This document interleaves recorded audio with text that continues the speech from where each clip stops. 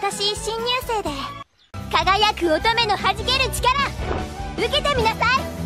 プリキュアレモネードフラッシュ別にハンターになんかなりたくないよ。ものすごい難関だって言われてるから。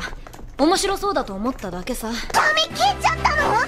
ミュリーカ長い髪好きだったのに。もったいない。じゃあ体拭いてあげる。バトルで汚れちゃったもんね。ここでおねんねしてて。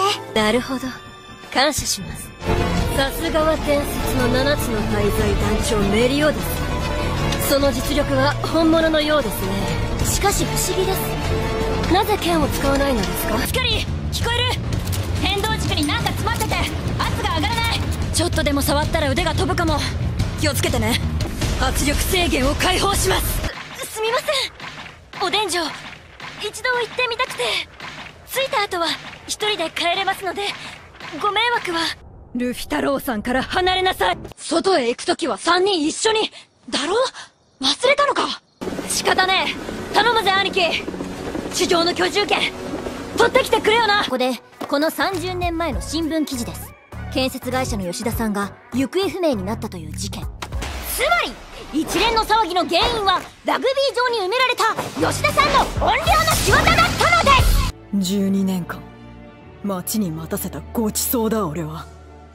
それを今夜取り上げる。お楽しみの収穫目前で。食えると思うなよ。食わせられると思うなよ。食用商品。知ったことか。くっそかっこよか。ビクトルの完コピやばいよ。てっきり落ち込んでるのかと思ってた。ユーリ君とビクトルが戦ってるとこ。早く見たいな。勝てない戦はなしがいいな。私まだ死にたくないです。艦長この状況なら無条件発砲許可でしたよね。疫病神。あんたの起こしたニアサーのせいで。私たちの人生めちゃくちゃよ。じゃあ僕帰るけど。ままた怪我したら来てもいいか？